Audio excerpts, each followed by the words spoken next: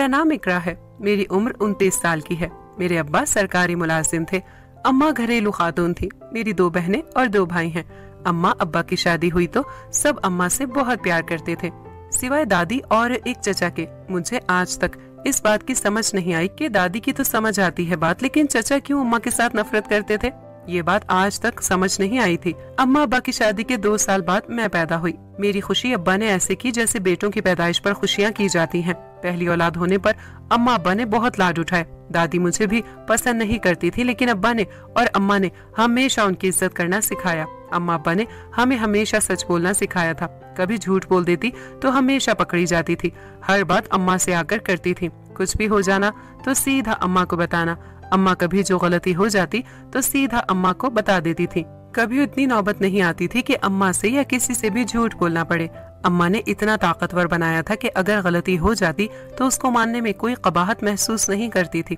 अम्मा ने पढ़ाई लिखाई में हमारा कभी हाथ नहीं रोका था। हमें मुकम्मल इजाज़त थी कि अपनी हदूद में रहते हुए किसी भी तरह की पढ़ाई कर लें। मेरी अम्मा मुझसे बहुत ज़्यादा प्यार करती थी, लेकिन इतनी मोहब्बत होने के बावजूद भी मैंने कभी नाजायज ख्वाहिशात का इजहार नहीं किया था। स्कूल में तालीम को लेकर अम्मा ने मुझ पर हमेशा सख्ती की, कभी नरमी का मुजाहरा नहीं किया। अगर मेरी उस्तानी मुझे मार भी लेती तो कभी अम्मा ने शिकायत ना की थी। धोखा देना ना इंसाफी करना, किसी का हक मारना, ये सब हमारी तरबियत में शामिल ही नहीं था। अगर कभी गलती से किसी को धोखा दे देती तो जल्दी से अपनी गलती मान लेती। अम्मा ने हर तरह से मेरी तरबियत अच्छी करने की कोशिश की। अब्बा ने हर आसाइश मुहैया की, लेकिन अगर दोनों ना दे सके तो वो मेरा नसीब था। मेरे नसीब में जो नहीं था, वो मैं चाह कर भी ना पा सकी, क्योंकि उसमें मेरी अम्मा और अब्बा की पसंदीदगी शामिल नहीं थी। मैं अपने चचा के बेटे को पसंद करती थी, जो मुझसे एक साल छोटा था, और वो भी मुझे बे इंतहा पसंद करता था, लेकिन न जाने अम्मा और चचा में कैसा इख्तलाफ था कि अम्मा को चचा का बेटा मेरे लिए पसंद ना आया। मेरी पढ़ाई अभी चल रही थी। जब बहुत से रिश्ते मेरे लिए आए, लेकिन मैं अम्मा को अपने चचा के बेटे से शादी करने का कहती तो वो फूट फूट कर रोने लग, और वो एक ही बात कहती कि जिस इंसान ने तुम्हारी माँ का मान ना रखा हो, तुम्हारी माँ की इज़्ज़त ना रखी हो तुम उसके बेटे से शादी कैसे कर सकती हो? मैं जब अम्मा से चचा के बारे में बात करने लगती तो अम्मा मुझे डांट टपट कर चुप करवा देती। एक रोज मैंने जब जिद की कि मुझे चचा के बड़े बेटे से ही शादी करनी है, मेरी आँखें हैरत से फट गईं। जब अम्मा ने कहा कि मैं छोटे बेटे के लिए रिश्ता दे दूँगी, लेकिन बड़े के लिए मर कर भी नहीं दूँगी, वो भी अपने बाप जैसा ही निकलेगा। मुझे अम्मा की ये बात समझ न आई। उसी असना में मेरे चचा मेरे घर रिश्ता लेकर आए और इत्तेफाक से अपने छोटे बेटे के लिए ही मेरे घर रिश्ता लेकर आए। अम्मा अब्बा को इस बात से कोई एतराज़ नहीं था। अम्मा चेहरे पर मुस्कुराहट सजाए, चचा चची की आओ भगत में लगी रही। मेरी एक ही नन थी, जो मुझसे चार साल छोटी थी। अम्मा किचन में गई तो मेरे चचा भी अम्मा के पीछे चल पड़े। मेरी नज़र चचा पर पड़ी तो वो किचन में खड़े होकर अम्मा से किसी बात पर बहस कर रहे थे। मैं भी तजस्स के मारे किचन की तरफ़ छुप कर चली गई। किचन की दीवार से टेक लगाकर खामोशी से सुनते मेरी रूह लरस गई, जब अम्मा ने चचा से बोला कि मैं तुम्हारा एक राज रख सकती थी। बस अब मजीद मैं तुम्हारे लिए कुछ नहीं करूँगी। जो तुमने मेरे साथ किया, वो अच्छा नहीं किया। क्या बिगाड़ा था मैंने तुम्हारा? तुमने इतनी भी हया नहीं की कि मैं तुम्हारे भाई की बीवी हूँ। अम्मा की बात पर चचा ने थोड़ा उलझकर जवाब दिया कि, किस भाई की बात कर रही हो? वो भाई, जो मेरा सगा भाई है ही नहीं, जिसको कूड़े से उठाया था, उस भाई की बात कर रही हो। चचा की बात सुनकर मेरे रोंगटे खड़े हो गए। मुझे चचा पर बेहद गुस्सा आया और उनके बड़े छोटे दोनों बेटों से नफरत महसूस होने लगी थी। मैं गुस्से में कमरे में आई और अब्बा के साथ आकर बैठ गई। मुझे चचा के बड़े बेटे पर भी गुस्सा था कि एक बार भी उसने इस रिश्ते को रोकने की कोशिश नहीं की और न वो खुद आया। चची ने मुझे प्यार किया और मेरी उंगली में अंगूठी पहनाने लगी तो मैंने अब्बा को देखते ही अपना हाथ पीछे कर लिया। सब लोग हैरान मेरे सामने खड़े, मेरा चेहरा देख रहे थे। अम्मा भी हैरानगी से मुझे देख रही थी। मेरा होने वाला मंगेतर भी हैरानगी से मेरी तरफ़ देखने लगा। मैंने अब्बा से कह दिया कि मुझे यहाँ शादी नहीं करनी। मेरे सारे बड़े मेरी तरफ़ मुँह खोले देखने लगे। मेरी दादी ने अम्मा की तरफ़ देखा और बोलने लग गई। जैसी माँ थी, वैसी ही बेटी निकली। जैसा बाप वैसी बेटी। अम्मा ने रोकना चाहा तो मैंने अम्मा का हाथ थाम लिया और उनको दादी को रोकने से मना किया। अम्मा ने मुझे घूर कर देखा, लेकिन मेरी जात पर बिल्कुल भी फ़र्क नहीं पड़ा। चचा और चची भी वहाँ से चले गए। मैंने अम्मा से बोला कि मुझे जहाँ मर्ज़ी ब्याह दे, लेकिन चचा के घर मुझे शादी करनी ही नहीं है। अम्मा सारा दिन दादी की बात पर आँसू बहाती रही, लेकिन इस बार मैंने भी अम्मा से कुछ न पूछा, क्योंकि मैं जान चुकी थी। अम्मा के आँसू के पीछे का राज। अम्मा ने अब्बा से बोला कि चचा को मनाएँ और दोबारा रिश्ता कर लें, लेकिन मैंने इस बार साफ़ हरी झंडी दिखाई, क्योंकि मुझे चचा के घर शादी करनी ही नहीं थी। कुछ रोज गुजरे तो चचा फिर अपनी बीवी को लिए मेरे घर पर मौजूद थे। मैं कॉलेज से आई तो हैरान रह गई कि अब फिर से ये लोग क्या करने आए हैं। लेकिन इस बार मेरी किसी ने ना सुनी और अम्मा ने मेरा रिश्ता चचा के छोटे बेटे से तय कर दिया। मैं इस रिश्ते से खुश ना थी, लेकिन इस बार अम्मा ने मुझे अपनी कसम देकर खामोश रहने का बोला। वक्त गुजरता गया। इस रिश्ते से सभी खुश थे। माँ सिवाय मेरे और मेरे मंगेतर के पहले पहल मुझे लगा था कि मेरे मंगेतर को अपनी बेजती महसूस हुई है, इसलिए वो मुझसे खफा है। लेकिन हैरत का झटका तो तब लगा जब एक रोज मेरे मंगेतर ने मुझे बाहर मिलने को बुलाया। पहले दिल किया कि ना कर दूँ। लेकिन मैंने अम्मा को अपने अतमाद में लेकर सब कुछ बताया और फैसला भी बता दिया कि मैं जाना चाहती हूँ मिलने। अम्मा को खुशी हुई कि मैं अपने मंगेतर से मिलने जा रही हूँ, क्योंकि मैंने अम्मा को बस इतना बताया था कि मेरे मंगेतर ने मुझे बाहर मिलने को बुलाया है, लेकिन उसके तेवर क्या है, ये मैं नहीं जानती थी। मैं अपने मंगेतर से मिलने को गई जिस रेस्टोरेंट में उसने मुझे बुलाया। मैं वक्त पर वहाँ पर चली गई। अम्मा ने बहुत कहा कि ठीक से तैयार होकर जाओ, लेकिन मैंने अम्मा से कह दिया कि मैं ज़्यादा तैयार होकर नहीं जाऊँगी। और ऐसा ही हुआ। मैंने बहुत मुनासिब सा मेकअप किया और चल पड़ी। मेरा मंगेतर काफ़ी गहरी सोच में गुम था, या फिर जानबूझकर मुझे नजरअंदाज कर रहा था। मुझे समझने में बहुत मुश्किल हुई, क्योंकि मेरे जाने पर भी उसने कोई रद्द अमल ज़ाहिर नहीं किया। ना मेरी तरफ़ देखा। मैंने जब उसका नाम पुकारा तो वो एकदम चौंक गया। मैंने सवालिया नज़रों से अपने मंगेतर की तरफ़ देखा, जैसे बोलने में मुझे कोई खासी दिलचस्पी ना हो। उसने मुझे हाथ के इशारे से बैठने को बोला। मैं भी खामोशी से बैठ गई। उसने मेरे सामने खाने का मेन्यू रखा तो मैंने साफ़ इनकार कर दिया कि मैं घर से खा कर आई हूँ, जिस पर उसने नरमी से सर हाँ में हिलाया और मेन्यू पीछे कर लिया। एक एक गर्म चाय का कप पीने के बाद मैंने उससे बोला कि, बताओ, आप क्या कहने को बुलाया है? मेरी सोच भी वहाँ तक नहीं गई थी, जहाँ तक मेरे मंगेतर की सोच गई थी। मेरे मंगेतर ने बताया कि वो किसी और को पसंद करता है, मुझे नहीं। इसीलिए वो ये मंगनी तोड़ना चाहता है। मुझे अपने मंगेतर पर बहुत गुस्सा आया। तोते तो उसके तब उड़े जब मैंने बोला कि तुम किसी और को पसंद करते हो। मैं नहीं, इसीलिए तुम खुद इनकार कर दो। मैं इसमें कुछ नहीं करूँगी। मेरे मंगेतर को लगा था कि अब की बार मैं भी इनकार कर दूँगी। लेकिन मैं ऐसा क्यों करने को इनकार कर देती? लेकिन अम्मा की कसम ने मेरी जबान रोक रखी थी। मैंने मजीद अपने मंगेतर की कोई बात ना सुनी और खामोशी से उठकर वहाँ से चली आई। उसके बाद से मेरे मंगेतर की तरफ़ से भी मुकम्मल खामोशी थी और मेरी तरफ़ से भी हम में वो आखिरी मुलाकात थी, जो एक दूसरे के साथ हुई थी। अम्मा अक्सर कहती कि, बाहर कहीं मिल लो, ऐसे अंडरस्टैंडिंग बढ़ती है। लेकिन मैं उनको क्या बताती, जहाँ अंडरस्टैंडिंग शुरू हुई नहीं हुई, वहाँ बढ़ेगी क्या? मिनट घंटों में, घंटे हफ्तों में और हफ़्ते महीनों में गुजरे। और वो वक्त भी आ गया जब मुझे पिया देश रुखसत होकर जाना था। मेरी शादी बहुत अजीब तरीके से हुई थी। मेरा रिश्ता जिससे तय किया गया, वो शादी के रोज भाग गया। शादी के रोज जब, शादी के रोज जब सब निकाह के इंतज़ार में थे, तब हर तरफ़ भगदड़ मच गई क्योंकि दुल्हा हॉल से गायब था। मैं दुल्हन बनी कमरे में बैठी हुई थी जब मुझे ये खबर सुनने को मिली। ये सुनते ही अम्मा हॉल में ही बेहोश होकर गिर गई जब अम्मा को होश आया तो अम्मा और अब्बा ने मेरा रिश्ता मेरे मंगेतर के बड़े भाई से कर दिया, जिसको मैं पसंद करती थी, और मौके पर निकाह हो गया। सबने बहुत बातें करना शुरू कर दी। लोग पहले ही इस बात पर बातें करते थे कि पहले छोटे बेटे की शादी क्यों कर रहे हैं, बड़े की क्यों नहीं की? मैं भी परेशान थी कि पहले छोटे के लिए रिश्ता मांगा, अब बड़े से क्यों कर दिया? मुझे यकीन था कि कुछ तो है, जो छुपाया जा रहा है। मुझे घर लेकर जाया गया तो कुछ भी नहीं खास था। मैं ये रिश्ता करना ही नहीं चाहती थी, लेकिन अम्मा ने जब मेरे आगे हाथ जोड़े तो मेरे पास दूसरा कोई रास्ता नहीं बचा। मैंने अम्मा के जुड़े हाथों का पास रखा और शादी कर ली। हैरान तो मैं अपनी किस्मत पर थी। किस्मत ने कैसा खेल खेला था मेरे साथ। घर आते ही किसी ने मुझे बैठने तक को नहीं कहा। अपने शोहर का कमरा जानती थी, इसीलिए खुद कमरे में चली गई। मेरा शोहर भी मेरे पीछे चल पड़ा। कमरे की हालत देखकर लगता था, जैसे यहाँ बरसों से कोई नहीं रहता। बस मेरी एक नंद मुझे खाने का पूछने आई थी, जिस पर मैंने ना कर दी तो वो वापस चली गई। मेरे शोहर ने मुझे बैठने का बोला और मुझे कहा कि कल तक मेरा सारा सामान इस कमरे में आ जाएगा। उसके चेहरे से देखकर लगता नहीं था कि वो इस रिश्ते से खुश है। होता भी कैसे? भाई की मंगेतर से शादी करनी पड़ गई। चाहे इससे पहले आप उसकी मोहब्बत ही क्यों न रह चुके हों। मैं अब उन सबसे थक गई थी। इसीलिए खुद ही उठी, अपने सबका मंगेतर के कमरे से खुद अपने लिए आरामदेह सूट लाई और बदल कर सो गई। मेरा शोहर देखता ही रह गया। सुबह जब उठी तो शोहर कमरे में मौजूद नहीं था। रात कहाँ थी, कैसे सोई, मुझे कुछ याद नहीं था, क्योंकि सर बहुत भारी हो रहा था। मैंने चारों तरफ़ नज़र दौड़ाई और कमरे की सेटिंग देखने लगी। एक बात ने मुझे बहुत हैरान किया। ये कमरा बाकी कमरों से मुख्तलिफ़ था। इस कमरे की दीवारें वो सीधा सी थी जगह जगह जाले लगे हुए थे। लेकिन ऐसा क्यों था? वही मुलाजमा जो पूरे घर को साफ़ करती थी, वो इस कमरे को क्यों साफ़ नहीं करती थी? खैर, मैंने अपने लिए कपड़े निकाले और फ्रेश होने चली गई। भूख ने अंगड़ाई ली तो शोहर को कुछ देर बहलाने में नीचे चली आई। अभी नीचे आई थी कि मेरी चची ने मेरे लिए नाश्ता निकाला।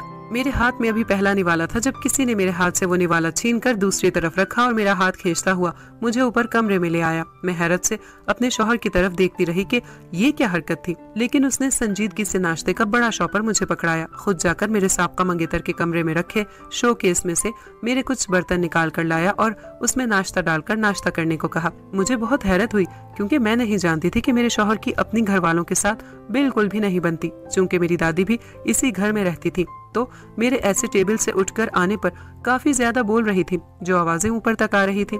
मेरे शोहर ने तो जैसे कान बंद कर रखे थे। मैंने हैरत से अपने शोहर की तरफ़ देखा, जो खामोशी से मेरे साथ ऐसे नाश्ता कर रहा था जैसे अभी अभी कुछ हुआ ही ना हो। मैंने अपने शोहर से पूछा कि ऐसा क्यों किया, जिस पर मेरे शोहर ने सादगी से एक ही जवाब दिया कि जो चाहिए होगा आपने मुझे बताना है और अपना खाना अलग से बनाना है। चाहे तो बाहर बने मेरे किचन में चीज़ें रख लें, चाहे तो सबके किचन में रख लें। जो चीज़ नहीं है, मुझे बता दें, मैं ले आऊँगा। मेरा शोहर मेरे मुताबिक एक फैक्ट्री में काम करता था। मैं अब उस पर इतना बोझ नहीं डाल सकती थी। पढ़ी लिखी थी। मैंने पहले दिन ही नौकरी करने का पूछा, जिस पर मेरे शोहर ने साफ़ इनकार कर दिया और मैंने अपने शोहर से ज़्यादा बहस नहीं की और चुप करके अच्छी बीवियों की तरह रहने लगी। एक रोज मेरा अम्मा से मिलने को बहुत दिल किया तो मैंने अम्मा से बोला कि वो मुझे मिलने आ जाएँ, लेकिन अम्मा ने आने से साफ़ इनकार कर दिया। मुझे बहुत हैरत हुई। फिर अम्मा ने बोला कि मैं अपने शोहर के साथ उनके घर चली जाऊँ। रात में जब मेरे शोहर काम से आए तो मैंने उनको बोला तो उन्होंने कहा, वो मुझे छोड़ आएँगे, खुद नहीं जाएँगे। मुझे अब इस बात पर बहुत गुस्सा आ रहा था कि ये क्या रास्ता जो खुलने का नाम ही नहीं ले रहा था। मैंने अपने शोहर को भी इनकार कर दिया और अम्मा को भी। अब मेरा कहीं जाने का दिल नहीं कर रहा था।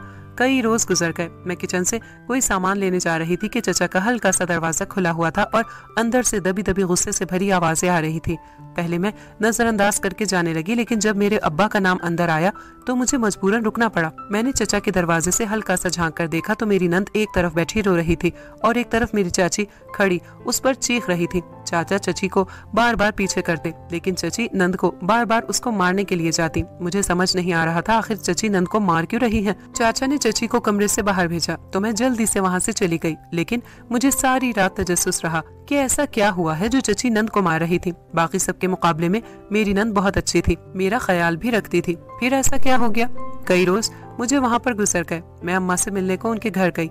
मेरा शोहर काम के सिलसिले में शहर से बाहर था। मैंने अपने चचा से कहा कि मुझे घर छोड़ाएँ, जिस पर चाचा मुझे घर छोड़ने चले गए। अम्मा का रवैया चाचा के साथ बिल्कुल नॉर्मल था। अब मुझे फिर से हैरत हुई कि अम्मा चाचा के साथ कैसे नॉर्मल रह सकती हैं, जबकि उन लोगों की आपस में बिल्कुल भी नहीं बनती। मैंने जब अपने शोहर को बताया कि मैं चचा के साथ अपनी अम्मा के घर आई हूँ तो मेरे शोहर ने इस बात पर मुझसे नाराज़गी इख्तियार कर ली कि मैं उनके अब्बा के साथ क्यों आई हूँ। मैंने अपनी अम्मा से पूछा कि आपके चचा के साथ क्या इख्तलाफात हैं, जिस पर अम्मा ने पहले तो मुझे गौर से देखा, जिस पर मैंने अम्मा को ज़ाहिर कर दिया कि मैं सब जानती हूँ, जो उस दिन चचा ने किचन में खड़े होकर अब्बा के बारे में कहा था। लेकिन मुझे आज वो राज जानना है जो चचा और आपके दरमियान इख्तलाफ पैदा करता आया है। अम्मा ने मेरी तरफ़ घूर कर देखा, जिस पर मैंने अम्मा से बोला कि, अम्मा, मुझे सब जानना है। और फिर, मेरे शोहर से आप पहले तो शादी के लिए नहीं मानी। फिर ऐसा क्या हुआ कि शादी के रोज आप लोगों ने मेरा रिश्ता उसी लड़के से कर दिया? अम्मा ने लंबा सांस लिया और मुझे बताना शुरू किया। अम्मा लोग चार बहनें थी। अम्मा दूसरे नंबर पर थी और अम्मा की एक बहन जो उनसे बड़ी थी। दोनों एक से बढ़कर खूबसूरत थी। मेरे चाचा मेरी खाला को पसंद करते थे, लेकिन मेरी खाला की बचपन से मंगनी हुई हुई थी, जिसकी वजह से खाला की तरफ़ से इनकार हो गया। चूँकि मेरी अम्मा भी बहुत खूबसूरत थी तो चचा ने अम्मा के लिए भी रिश्ता भेजा, लेकिन अम्मा ने भी इनकार कर दिया। चचा ने अम्मा को एक रोज अगवा किया और दिन भर अपने पास रखा। अम्मा रोती रही कि मुझे जाने दो, लेकिन चचा ने अम्मा को नहीं जाने दिया। दिन गुजरा, अगले रोज जब अम्मा घर आई तो नानी अम्मा के गम में इस दुनिया से जा चुकी थी। लोगों ने अम्मा को बद किरदार और न जाने क्या क्या कहा। अम्मा अपनी पाकिजगी का सबको यकीन दिलाती रही, लेकिन किसी को अम्मा पर यकीन नहीं आया। मेरे अब्बा को जब नानी के बारे में पता चला तो अब्बा ने चचा के खिलाफ पुलिस में केस कर दिया और चालीसवें के बाद बाइज्जत एहतराम से अम्मा का हाथ मांग लिया। नाना बूढ़े हो चुके थे।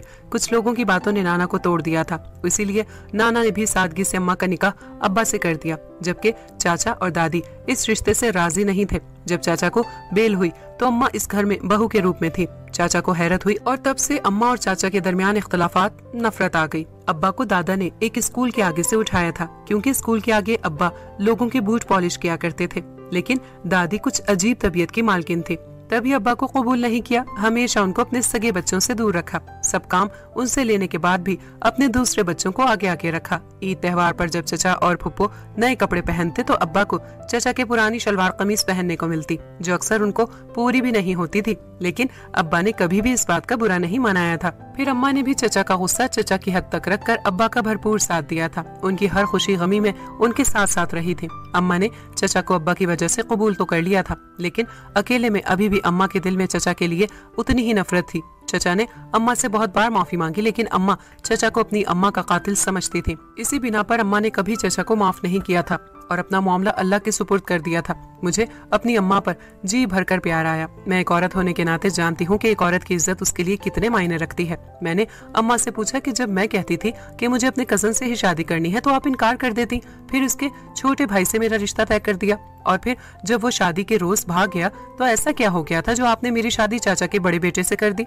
फिर अम्मा ने मुझे वो रास बताया जिसने मेरी दुनिया हिला कर रख दी। अम्मा ने मुझे बताया कि चचा की बहुत पुरानी आदत है कि वो अम्मा से हर बात शेयर करते थे और चचा ने ही बताया था कि मेरा शोहर कभी बाप नहीं बन सकता। यही वजह थी कि अम्मा ने मेरी शादी छोटे के साथ तय कर दी, लेकिन बड़े से नहीं की। लेकिन शादी के रोज जब चचा का छोटा बेटा भाग गया तो अम्मा को अपनी और मेरी इज़्ज़त बचाने के लिए दूसरा कोई रास्ता नज़र नहीं आया और मेरी शादी मेरी मोहब्बत से ही कर दी। इतना बड़ा राज खुलने के बाद मैं पहले जैसी नहीं रही थी। मेरे अंदर बहुत बड़ी तब्दीली आ गई थी। मैं वो नहीं रही थी जैसी मैं थी, लेकिन मुझे अपने शोहर से कोई शिकवा नहीं था। मेरा शोहर कभी बाप नहीं बन सकता था। ये सुनकर मुझे अपने शोहर पर नाराज़गी नहीं, बल्कि उन पर तरस आया। लेकिन दिल एक बार फिर दहल ज़रूर किया था। शाम के वक्त मेरा शोहर मुझे अम्मा के घर से लेने आ गया। मैंने उनकी तरफ़ देखा और उनके सीने से लगी रोने लगी। मेरा शोहर एकदम परेशान हो गया और मेरी अम्मा की तरफ़ देखने लगा। मेरी अम्मा ने मुँह पर कपड़ा डाला और अंदर चली गई। अम्मा के जाने की देर थी कि मेरे शोहर ने मुझे खुद से अलग किया और फिर अपने साथ लेकर घर वापस आ गया। कमरे में आते ही मेरे शोहर ने मुझसे पूछा कि क्या हुआ था? रो क्यों रही थी?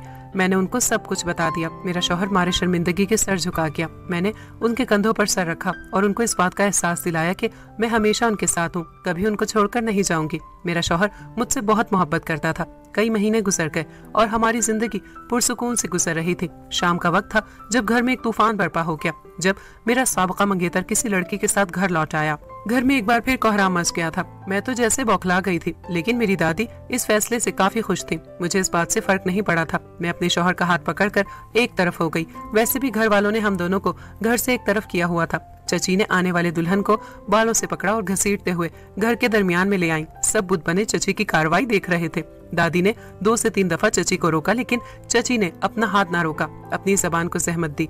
मैंने अपने शोहर को देखा, जो बहुत गौर से अपने भाई को देख रहे थे, जो ढीठ बना अपनी जगह से हिला तक नहीं था। उधर चची ने नई दुल्हन का मार मार कर भरता बना दिया था। मैंने अपने सबका मंगेतर को देखकर शुक्र अदा किया कि मैं उसकी बीवी नहीं बनी। कम अज कम अगर कोई मुझसे बात नहीं करता था तो कोई मुझे कुछ कहता भी तो नहीं था। मैं अपने घर बार के साथ खुश थी। मेरी नन जिसकी शादी नहीं हुई थी, चची के साथ उसका रवैया भी बहुत अजीब था। अब नई आने वाली दुल्हन भी रोज तरह तरह की बातें सुनती थी। मेरी चची घर से बाहर नहीं जाती थी। मेरे चाचा जब जब काम के सिलसिले में घर से बाहर जाते, तब मेरी चची भी रात देर तक घर पर आती। मुझे बहुत हैरानगी होती कि चाची जाती कहाँ है। घर आते ही मेरी चाची मेरी नंद पर हाथ उठाने लगती और वो मासूम खामोशी से मार खाया करती। मेरी नंद, जिसकी अभी शादी नहीं हुई थी, उसका रिश्ता आया, लेकिन नंद ने रिश्ते से इनकार कर दिया और कमरे में जाकर बंद हो गई। रिश्ता देखने वालों ने हैरानगी से सबकी तरफ़ देखा।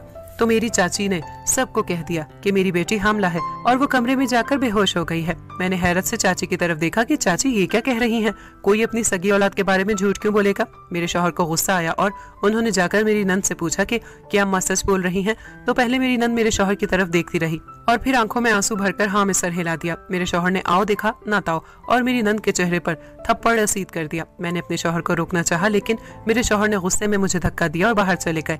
रिश्ते वाले चले गए। मुझे तदस्सुस हुआ कि मेरी नंद तो घर से बाहर भी नहीं जाती, फिर कैसे हमला हो सकती है? लेकिन उसने अपने मुँह से इकरार किया था जिसको जुटलाया नहीं जा सकता था। बात थम गई। घर भर में कोई नंद से बात नहीं करता था। अलबत्ता दादी काफ़ी राज़ी थी इस तमाशे से। कुछ दिन गुजरे तो एक और रिश्ता आया। मेरी नंद कमरे में बंद हो गई। मैं जब सबके सामने गई तो वो लोग मुझे लड़की समझकर अपने बेटे के लिए पसंद कर बैठे। जब उन्होंने कहा कि हमें रिश्ता मंजूर है तो सबको बहुत हैरत हुई, क्योंकि अभी तक नंद को तो देखा ही नहीं था। हैरत का झटका तब लगा जब लड़के की माँ ने मेरे हाथ पर कुछ पैसे रखे और मेरे सर पर प्यार दिया। मेरी चाची ने बताया कि ये मेरी बहू है, बेटी नहीं तो लड़के की माँ कुछ मायूस और शर्मिंदा हो गई और वापस जाकर बैठ गई। मैंने हाथ में पकड़े पैसे, लड़के की माँ को देने चाहे तो उन्होंने लेने से इनकार कर दिया और बोला कि, हमारी तरफ़ से तोहफा समझ कर रख लें।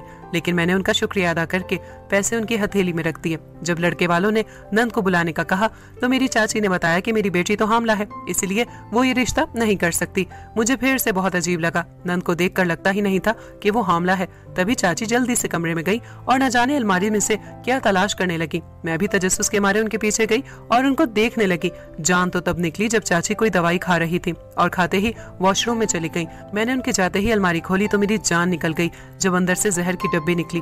मेरा वजूद जलजलों की जद में आ चुका था। मैं कांपते वजूद के साथ अपने कमरे में चली गई, लेकिन ये बात किसी से न की।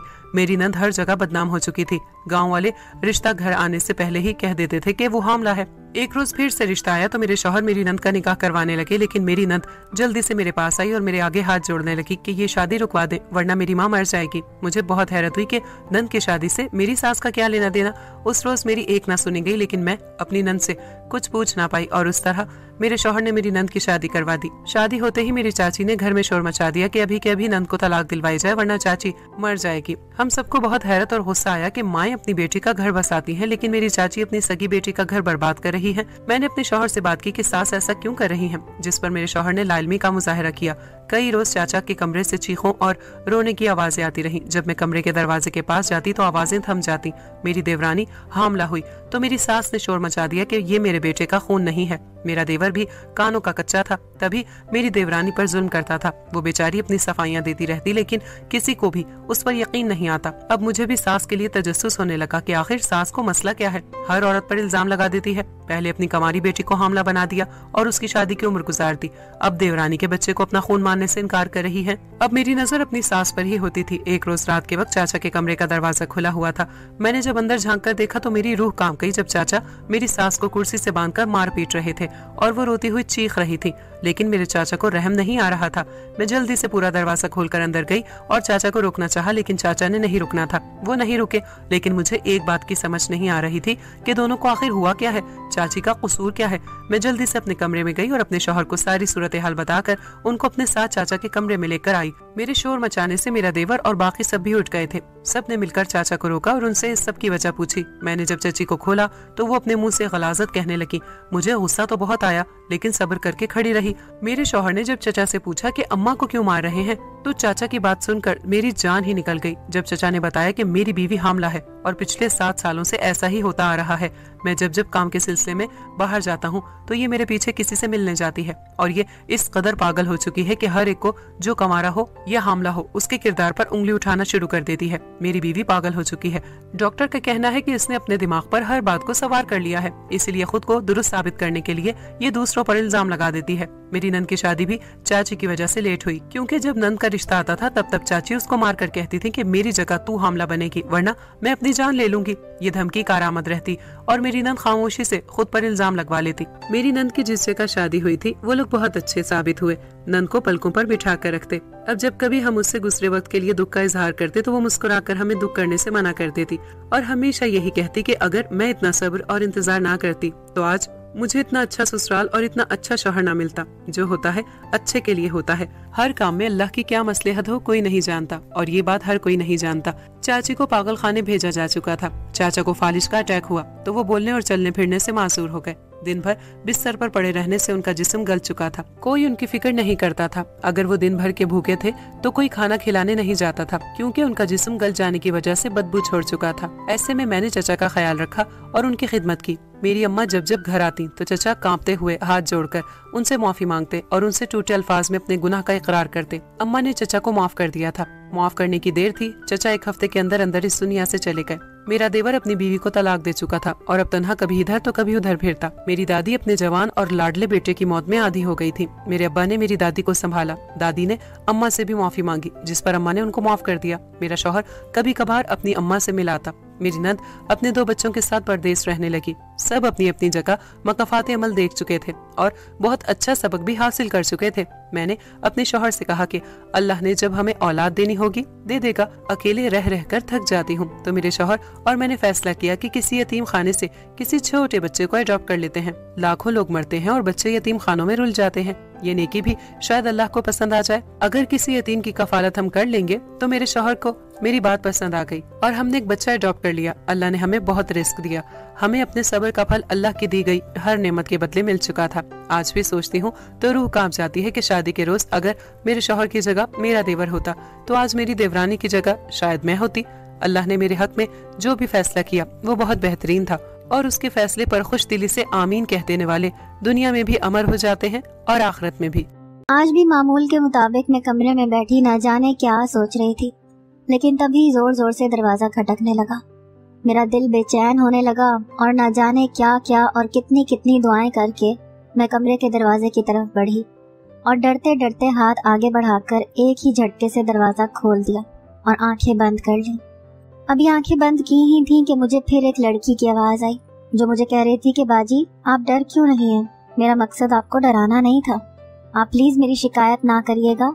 मुझे बहुत डांटेंगे हमारे शौहर। उसकी बात सुनकर मेरे सर में टीस सी कहीं उठी थी कि इसका शोहर इसे डांटेगा। इसका शोहर या मेरा? किसका शोहर है वो? मैं किसी भी नतीजे पर ना पहुँच सकी और आँखें खोलते हुए नफी में सर हिलाते हुए बेड पर जाकर खामोशी से बैठ गई। फिर वो लड़की हल्के कदम उठाती मेरी तरफ़ बढ़ी और मेरे बेड के पास वहीं ज़मीन पर बैठती हुई बोली, कि बाजी, किसी चीज़ की ज़रूरत तो नहीं आपको? मैं नफी में सर हिलाने लगी और बोली कि मुझे ज़रूरत हुई तो मैं खुद ले सकती हूँ। मैं यहाँ किसी की मोहताज नहीं हूँ। तो वो चेहरा लटका कर वापस जाने लगी और दरवाजे से मुड़कर फिर बोली कि मैं बाहर ही हूँ, बता दीजिएगा। ये कहकर वो कमरे से बाहर चली गई। उसके जाने के बाद माजी के कितने ही लम्हात मेरे जहन में आए। आँखों में आँसू आ गए थे। लेकिन मैं उन आंसुओं को बाहर निकाल कर कमज़ोर नहीं बनना चाहती थी। इसीलिए खामोशी से जब्त करती रही। अभी उस लड़की को गए आधा घंटा ही गुजरा था। कि मेरे मोबाइल पर किसी की कॉल आने लगी। जैसे ही फ़ोन उठाकर देखा तो दिल उचाट सा हो गया और वहीं फ़ोन पावर ऑफ़ किया और बेड पर ही फेंक कर नंद के कमरे में चली गई। वहाँ गई तो नंद और मेरी सास न जाने क्या बात कर रहे थे कि एकदम से खामोश हो गए और बोले, बेटी, तुम आ गई हो तो कुछ वक्त यहीं बैठ जाओ, तुम्हारा दिल बहल जाएगा। मैं उनकी बात मानते हुए वहीं बैठ गई वो मुझे बताने लगी कि किस तरह मेरे शौहर ने उन तीन लड़कियों को अपनी मोहब्बत के शकंजे में फंसा कर उनसे शादी की और पैसा बटोर कर बाहर चला गया। ये सुनकर मुझे और भी अजियत होने लगी, क्योंकि वो मुझसे मोहब्बत का दावा करता था। यानी उसकी मोहब्बत झूठी थी, सब धोखा था। जैसे तैसे करके खुद के जज्बात पर काबू पाकर, अपने तासुरात नॉर्मल रखते हुए मैं वहाँ से उठ गई। और नंद के कमरे से निकलने से पहले वापस मुड़कर अपनी सास से पूछने लगी कि खाना आज मैं बनाऊँगी। आप मुझे बता दें क्या बनाना है। तो वो मुझे अपने पास बुलाकर कहने लगी कि वो तीनों है ना, उन्हें काम करने दो। तुम जाकर आराम करो। अभी तुम्हारी शादी को दिन ही कितने हुए हैं। उनकी बात सुनकर मैं बजिद हो गई और खाने का पूछती रही, लेकिन वो दोनों बिल्कुल ना मानी और मुझे ज़बरदस्ती कमरे में आराम करने भेज दिया और कहने लगी जिन्हें तुम्हारा शौहर तुम्हारी सौतने बनाकर लाया है ना, उन्हें उनकी ज़िम्मेदारी भी निभाने दो। तुम फ़िक्र ना करो, हम तुम्हारे साथ हैं। जब तुम्हें ज़रूरत पड़ी तो हमें अपने साथ पाओगी। अपनी सास की ये बात सुनकर मेरी आँखों में आँसू आ गए और सोचने लगी कि भला आज के जमाने में भी ऐसी कोई सास होती है जो अपनी बहू को बेटी की तरह रखती हो और अपनी बहू के लिए इस तरह स्टैंड लेती हो। अपनी सास से मैं जब जब बात करती थी, मुझे उनमें अपनी माँ का अक्स दिखाई देता था। वो बिल्कुल मेरी वैसे ही केयर करती थी, जैसे मेरी माँ किया करती थी। लेकिन एक गलत फैसला मुझे कहाँ ले आया था? मैं जितना मर्ज़ी आगे बढ़ जाऊँ, मगर ये सोच जहन से निकल नहीं पाती थी। और फिर देखते ही देखते शाम हो गई। दरवाज़ा खुला था और मैं नमाज़ मगरिब अदा कर रही थी। जैसे ही सलाम फेरा तो वो तीनों लड़कियाँ मेरे सामने आ गई। आकर कहने लगी, तुम फ़िक्र ना करो, हम भी तुम्हारे साथ हैं।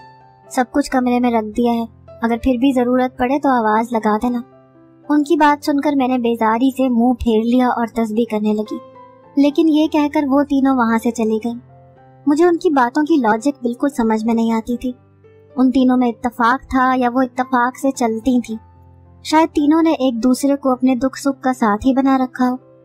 आखिर ज्यादती तो उन तीनों के साथ भी हुई है। यही सोचकर मैंने फैसला किया था कि जो भी हो जाए, अब मैं उनसे तमीज से बात करूँगी। आखिर को हम सबके साथ ही एक ही जुल्म हुआ है और सबने यही दुख बर्दाश्त किया है। इस नतीजे पर पहुँचते हुए मुझे अपने रवैये पर अफसोस हुआ और मैं उनके पीछे पीछे गई। उनसे माफ़ी मांगने लेकिन मैंने देखा कि वो तीनों लड़कियाँ एक ही कमरे में गई हैं। ये देखकर मैं बहुत परेशान हो गई कि आखिर क्यों वो तीनों एक ही कमरे में रहती हैं। लेकिन दिमाग पर ज़्यादा ज़ोर नहीं दिया और जाकर दरवाज़ा खटखटाने लगी कि कोई तो बाहर आएगी, फिर उनसे कमरे में जाकर माफ़ी मांग लूँगी। मगर हैरान कन बात यह थी कि मेरे मुसलसल दरवाज़ा बजाने पर भी किसी ने दरवाज़ा नहीं खोला। अब मुझे असल में शक होने लगा था कि यकीनन कोई माजरा है, वरना अंदर जाते ही तीनों साथ तो नहीं सो गई होंगी। फिर मैंने सोचा कि नंद के पास जाकर पूछती हूँ, वो तो जानती होगी, लेकिन न जाने किन ख्यालों में खो गई और नंद के कमरे के सामने से होकर वापस आ गई, लेकिन पूछ ना सकी उनसे कुछ। अगली सुबह मेरी आँख खुली तो कमरे से बाहर निकल कर देखा तीनों अपने अपने कामों में मसरूफ थी और साथ ही साथ न जाने क्या आपस में बड़बड़ा रही थी। मैं फ़ौरन कमरे से बाहर निकली और उनके पास पहुँची, लेकिन मुझे देखते ही तीनों की तीनों खामोश हो गई। मैंने पूछा कि क्या बोल रही थी? तो आगे से कहने लगी कि बाजी, काम की बात कर रहे थे। फिर मैं उनकी इस बात को नजरअंदाज करते हुए पूछने लगी कि ये रात को तुम तीनों कमरे में गई तो मैं भी पीछे ही थी, और फिर बार बार दरवाज़ा बजाया, लेकिन तुम में से कोई बाहर नहीं आया। खैरियत थी क्या? तीनों ही कमरे में जाते साथ कहाँ गुम हो गई थी? क्या दरवाज़ा बजने की आवाज़ नहीं आई थी? ये सुनकर पहले तो तीनों के चेहरे के रंग उड़ गए और तीनों एक दूसरे की शक्ल देखने लगी। उन्हीं में से एक लड़की के चेहरे पर हल्की शातिराना मुस्कुराहट उभरते साथ ही गायब हो गई और फिर वही हिम्मत करते हुए बोली, कि बाजी, क्या आपको कोई काम था? तो मैंने जवाब दिया कि ये तुम्हारा मसला नहीं है। और फिर इतना कहकर मैं कमरे में आ गई। अब मेरी सोच बार बार भटक कर उनकी उड़ी रंगत पर जा रही थी। ऐसा क्या था जो ये लोग छुपा रहे थे? मैं खोज लगाना चाहती थी, लेकिन ये काम मैं अकेली नहीं कर सकती थी। इसीलिए फ़ौरन दुपट्टा ओढ़कर सास और नंद के पास चली गई और उनके पास जाकर बैठकर सांस ली। फिर सारी बात अलिफ ता ये उन्हें बता दी।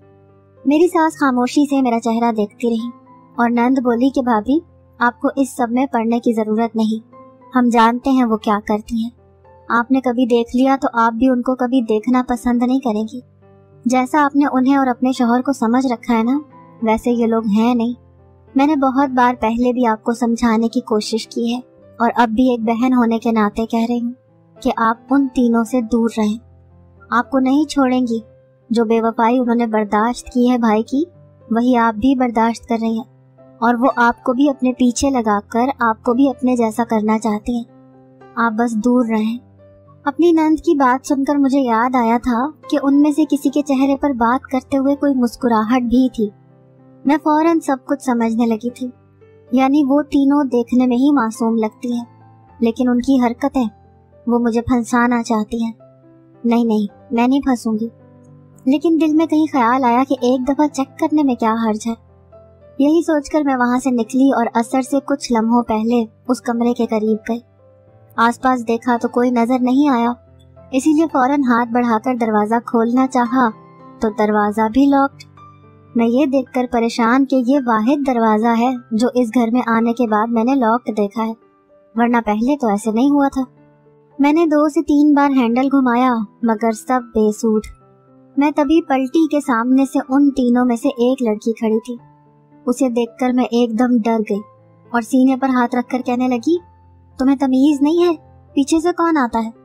तो वो ये सुनकर जवाब देते हुए बोली, आपको तमीज नहीं है? आप हमारा कमरा हमारे पीछे से चेक करने आ रही हैं।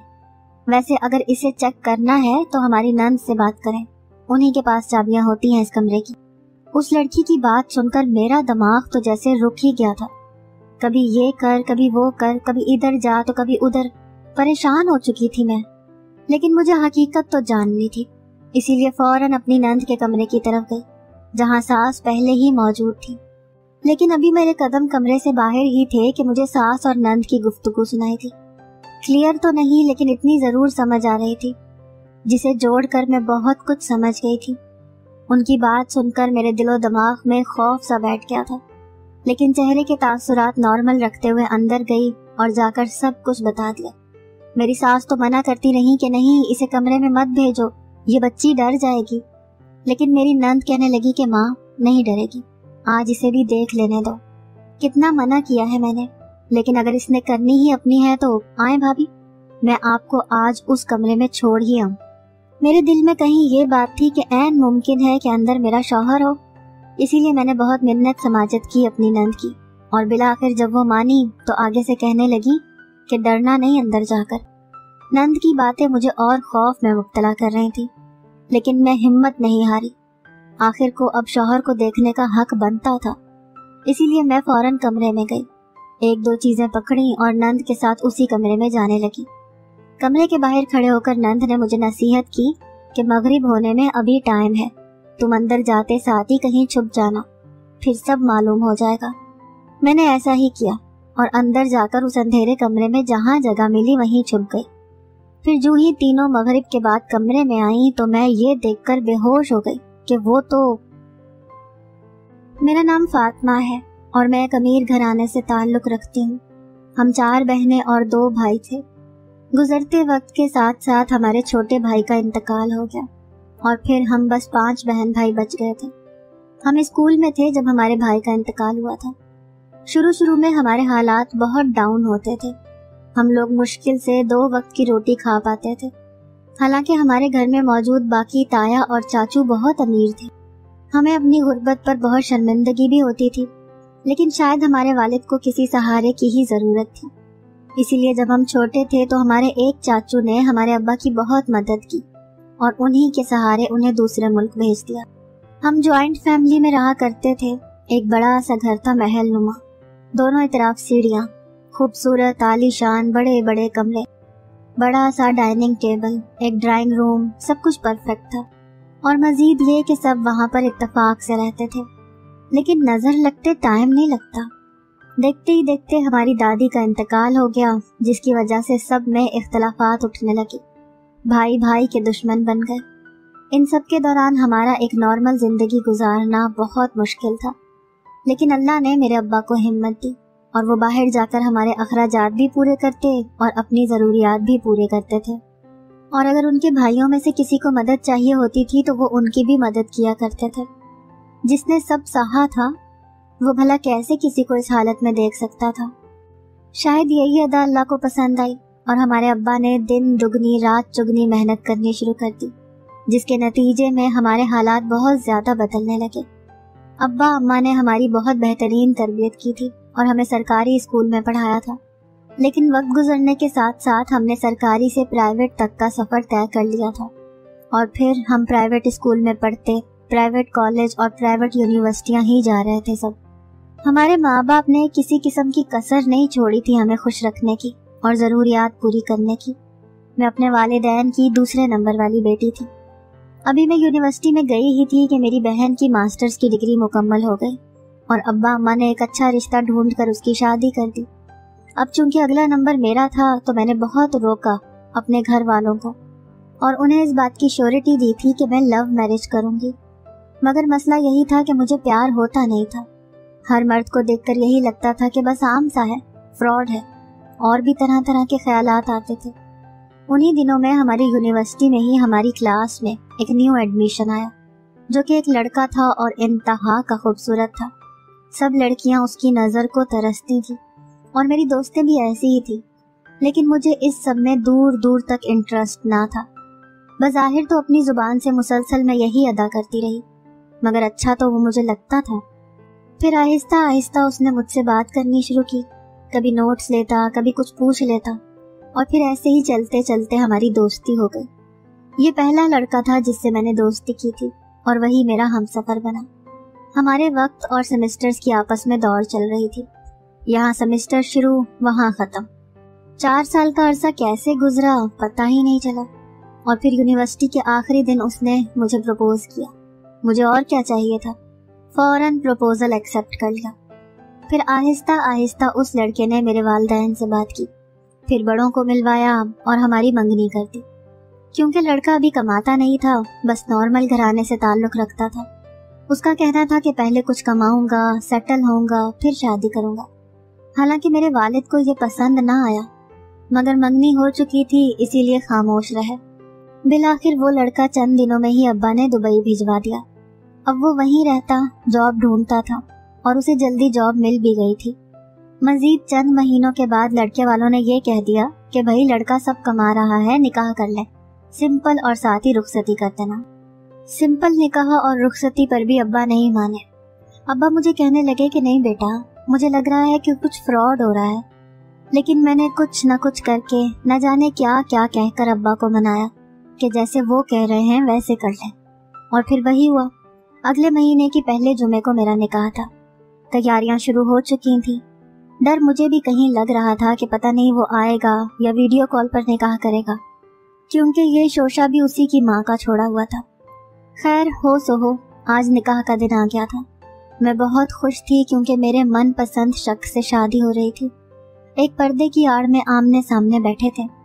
खैरियत से ईजाबो कबूल का मरहला तय पाया। और फिर न जाने ऐसा क्या हुआ कि उसे एक अर्जेंट कॉल आ गई और उसे वहाँ से फ़ौरन निकलना पड़ गया। मैं बहुत डर गई थी। हालाँकि मैंने एक ही नज़र बस अपने शोहर को देखा था। मुझे बहुत अफसोस हुआ, लेकिन दिल में खुशी थी कि चलो वो निकाह के लिए आया तो सही ना। लेकिन अंदर ही अंदर मुझे सब मज़ाक लग रहा था कि भला ऐसे कोई चंद मिनट पहले की दुल्हन अपनी को छोड़कर जाता है। लेकिन हवाइयाँ तो मेरी तब उड़ी जब मेरी शादी की रात शोहर की जगह तीन औरतें आई और बोली कि हम तुम्हारी सौतन हैं और आज से हम तीनों ही तुम्हारी खिदमत करेंगी। अब रोज़ाना शोहर की जगह वो औरतें ही कमरे में आती और मगरिब होते ही एक कमरे में बंद हो जाते। मैं बहुत परेशान थी कि मेरा शोहर क्यों नहीं आता। मेरी नंद और सास दोनों बहुत अच्छे थे। मुझे शक था कि कहीं उस कमरे में मेरा शौहर तो नहीं। इसीलिए एक दिन नंद की मिन्नत करके कहने लगी कि मुझे मेरा शौहर दिखा दो। तो वो मुझे अजीब नज़रों से देखकर बोली, भाभी, घबराना नहीं। बस तुम पहले से उस कमरे में छुप कर बैठ जाओ। सब मालूम हो जाएगा। मैंने ऐसा ही किया।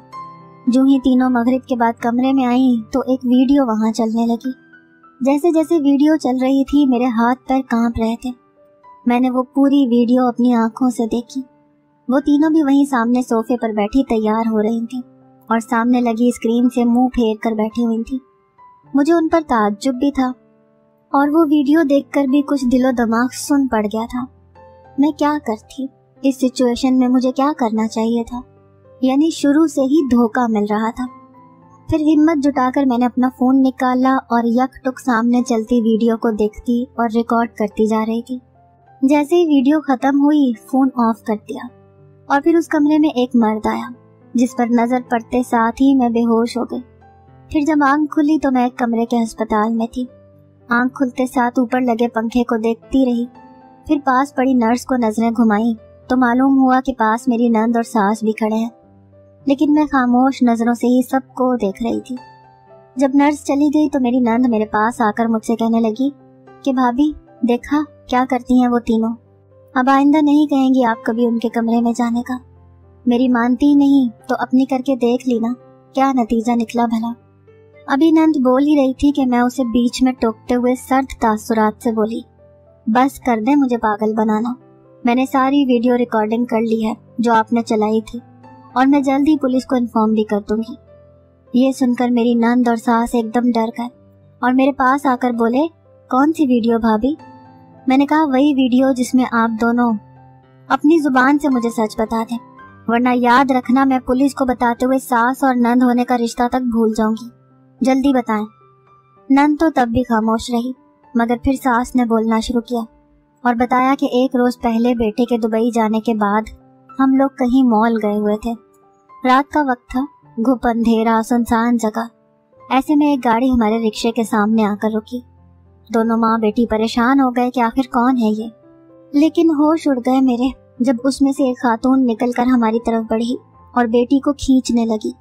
मैं एकदम से डर गई और मैंने छुड़वाने की कोशिश की तो उल्टा मुझे भी धमकियाँ देने लगी।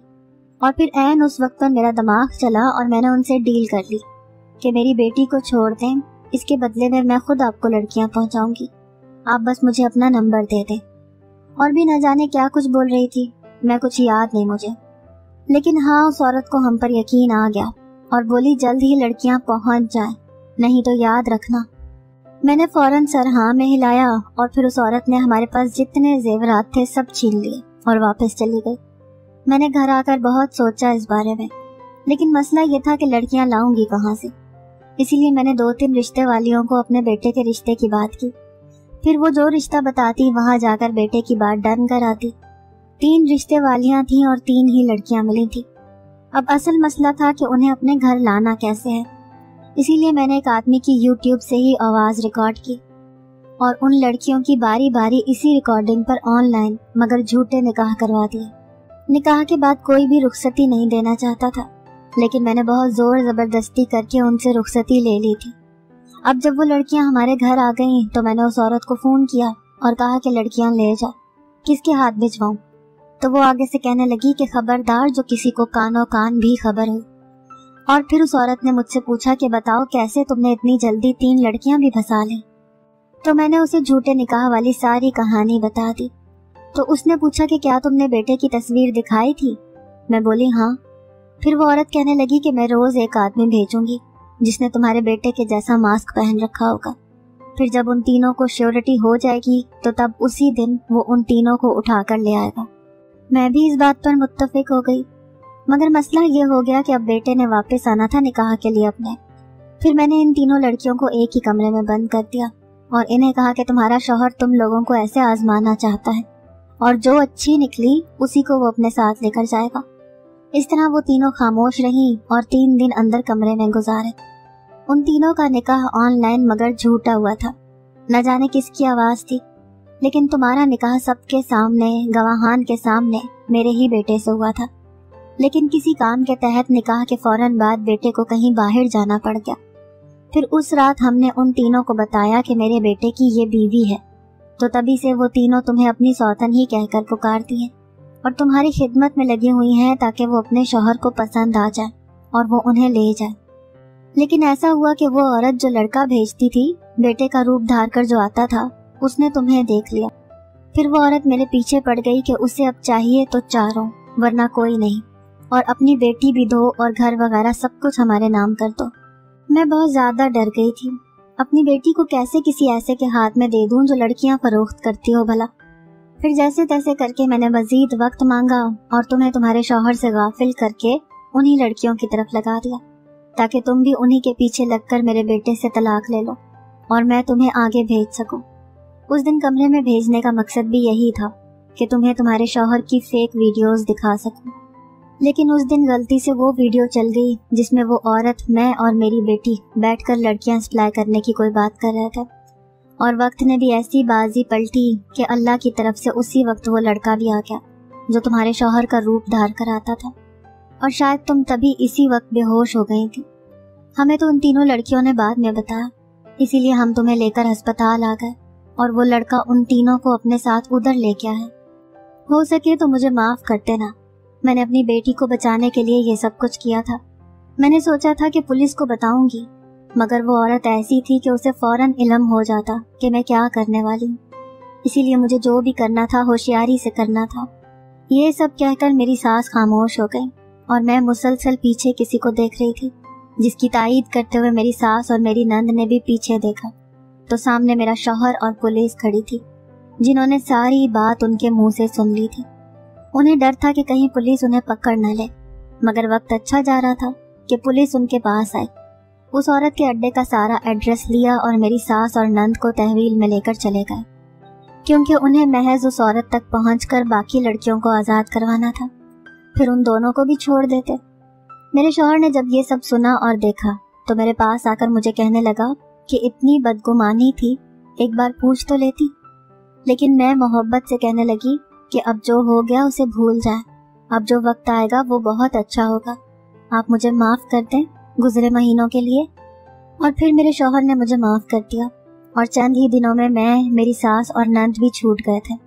उस औरत का अड्डा भी बंद हो गया था और उसके साथ काम करने वाले सब पकड़े गए थे। और वहाँ मौजूद सारी लड़कियाँ भी आज़ाद कर दी गई थी। मेरा शौहर हम सबको लेकर बाहर के मुल्क में ही जाना चाहता था। लेकिन पुलिस ने मेरी सास और नंद को ट्रैवल करने से मना कर दिया था। अब उन्हें सारी ज़िंदगी इसी शहर में रहना था। वो किसी दूसरे शहर में भी नहीं जा सकते थे। और कुछ ही महीनों में मेरा शौहर भी मुझे अपने साथ ही बाहर ले गया। अब हम खुशी खुशी अपनी ज़िंदगी गुजार रहे हैं और मेरी सास और नंद अपनी गलती की सजाएँ भुगत रहे हैं, बेटे से दूर रहकर।